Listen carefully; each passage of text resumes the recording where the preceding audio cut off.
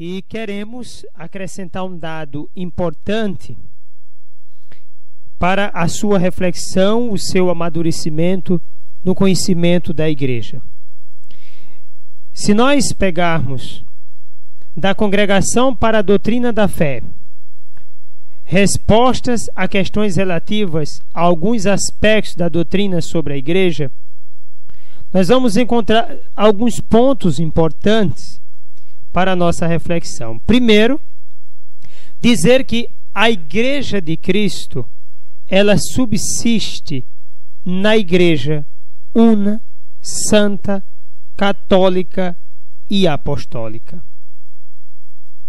Cristo constituiu sobre a terra uma única igreja e instituiu-a como grupo visível e comunidade espiritual que, desde a sua origem e no curso da história, sempre existe e existirá, e na qual só permaneceram e permanecerão todos os elementos por ele instituídos. Esta é a única Igreja de Cristo, que no símbolo professamos como sendo una, santa, católica e apostólica.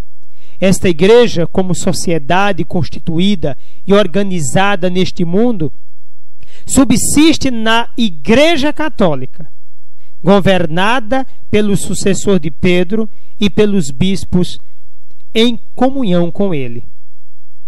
Na Constituição Dogmática Lumen Gentium, número 8, subsistência é esta perene continuidade histórica e a permanência de todos os elementos instituídos por Cristo na Igreja Católica, na qual concretamente se encontra a Igreja de Cristo sobre esta terra. Nós estamos, portanto, diante da dimensão física e da dimensão espiritual da igreja. A igreja é corpo místico de Cristo e age nessa história, nessa com sua estrutura, com sua, sua parte física. Enquanto, segundo a doutrina católica, eu estou lendo aqui o documento, é correto afirmar que nas igrejas e nas comunidades eclesiais, ainda não em plena comunhão com a Igreja Católica, a Igreja de Cristo é presente e operante através dos elementos de santificação e de verdade nelas existentes. Já a palavra subsiste só pode ser atribuída exclusivamente, diz o documento, à única Igreja Católica, uma vez que precisamente se refere à nota da unidade professada nos símbolos da fé. Creio na Igreja una, subsistindo esta Igreja una na Igreja Católica. Ora, aqui quando se refere à igreja e comunidade eclesial, esse a igreja são as igrejas orientais que têm sucessão apostólica. Nós vamos ver isso aqui. Não se utiliza a palavra igreja para nenhuma comunidade depois da deforma luterana. É bom pensar nisso. Eu digo deforma, repito, porque reforma é quando eu estou dentro, reforma e não saio. E aí, quando se sai e faz outra coisa, se deforma, não é? Ou então constrói outras coisas. Continua ainda com o documento. Por que é que o Concílio Ecumênico Vaticano II dá o nome de igrejas às igrejas orientais separadas da plena comunhão com a Igreja Católica? Porque essas igrejas orientais recebem o nome de igrejas. O concílio quis aceitar o uso tradicional do nome.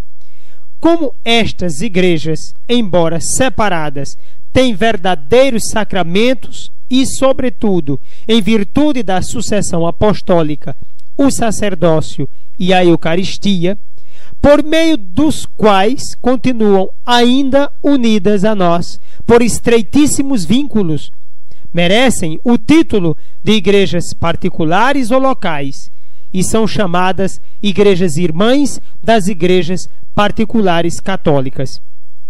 Por isso, pela celebração da Eucaristia do Senhor em cada uma destas igrejas, a Igreja de Deus é edificada e cresce. Como, porém, a comunhão com a Igreja Católica, cuja cabeça visível é o Bispo de Roma e sucessor de Pedro, não é um complemento extrínseco qualquer da igreja particular, mas um dos princípios constitutivos internos à condição de igreja particular de que gozam essas venerandas comunidades cristãs é, de certo modo, lacunosa. Por outro lado, a plenitude da catolicidade própria da igreja, governada pelo sucessor de Pedro e pelos bispos em comunhão com ele, encontra na divisão dos cristãos um obstáculo à sua realização plena na história. E a última pergunta deste documento é: por que razão os textos do concílio e do subsequente magistério não atribuem o título de igreja às comunidades cristãs nascidas da ação de Lutero e todos da mesma linha a partir do século XVI. Essas surgidas depois de Lutero não podem ser chamadas de igreja. Responde William Cardeal Levada, que é o prefeito da Sagrada Congregação da Fé, e esse documento é da Sagrada Congregação da Fé, dizendo: porque, segundo a doutrina católica, tais comunidades não têm a sucessão apostólica no sacramento da ordem. E por isso estão privadas de um elemento essencial constitutivo da igreja. Ditas comunidades eclesiais, que, sobretudo pela falta do sacerdócio sacramental, não conservam a genuína e íntegra substância do magistério eucarístico, não podem, segundo a doutrina católica, ser chamadas igrejas, em sentido próprio. Esse foi um documento assinado pelo Papa e que está aí para você não ter confusão, tá bom? Depois de Lutero, nenhuma comunidade dita religiosa fora da Igreja Católica pode ser chamada de igreja. São chamadas de igreja as igrejas orientais, que têm a sucessão apostólica, tem os sacramentos da Eucaristia, os sacramentos de modo geral. As demais são comunidades, expressões religiosas. Portanto, dizer que são igrejas é um erro. A legitimidade daquilo que deseja o próprio Evangelho. Quando trago esses assuntos para você, não é revelando um anti-ecumenismo. Não. Você sabe que não é isso. Eu procuro passar para você não o que eu acho, mas aquilo que a Igreja de Jesus Cristo ensina. Qual deve ser, portanto, a nossa atitude de católicos diante daqueles que não professam a nossa fé? É a atitude de respeito. É também uma atitude de diálogo. Uma forma de compreender o outro e se deixar compreender, sabendo que para o exercício do ecumenismo há a grande necessidade da descoberta da própria identidade, do que é essencial na sua fé, coisas que são intransferíveis. Por exemplo, sucessão apostólica, a Eucaristia, os sacramentos de modo geral a própria igreja. Mas isso não impede que você respeite o outro. Na verdade, o respeito vai até para quem não acredita em nada. Convém lembrar que aqueles nascidos no universo protestante têm uma mentalidade diferente daqueles que mudam da igreja católica para protestante ou daqueles que não eram nada e passaram para o protestantismo. Mas convém lembrar que o diálogo é importante mas sabendo que não é a mesma coisa. A ideia de igreja da mesma forma é um erro. Não é a mesma coisa. Lembre-se, Cristo só tem uma igreja. Eu já disse isso várias vezes, talvez em uma dessas formações do DVD eu já tenha dito isso.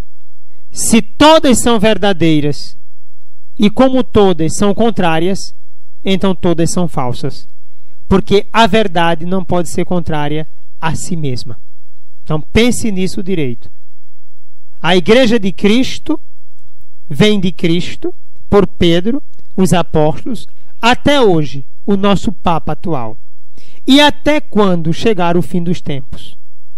A igreja é corpo de Cristo que se realiza, que passa por essa estrutura no mundo. E eu espero que você acolha o que você é. Ame aquilo que Deus fez na sua vida.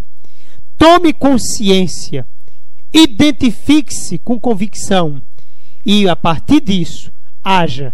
Porque o mundo precisa de pessoas convictas, de pessoas apaixonadas, de pessoas que querem fazer com que o Evangelho chegue a todas as pessoas, para que todos formemos um só corpo em Cristo Jesus e o mundo todo seja salvo.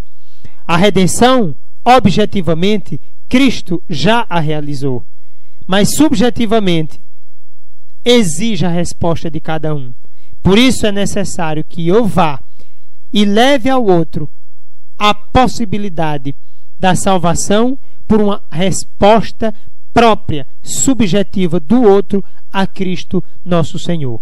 E eu tenho certeza que dessa forma, constituindo o único corpo de Cristo, chegaremos à glória eterna do Pai. Sobre você desça a bênção de Deus Todo-Poderoso, Pai, Filho e Espírito Santo. Amém.